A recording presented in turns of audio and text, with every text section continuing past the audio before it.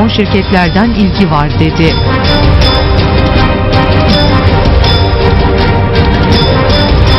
Havaların soğumasıyla beraber kışın doğalgaz sıkıntısı yaşanıp yaşanmayacağı sorusu yeniden gündeme geldi. BOTAŞ Genel Müdür Yardımcısı Abdülvahit Fidan, gaz depolarının dolu olduğunu belirterek yurt dışı kaynaklardan doğalgaz arzında herhangi bir sıkıntı yaşanmayacağını öngörüyoruz dedi.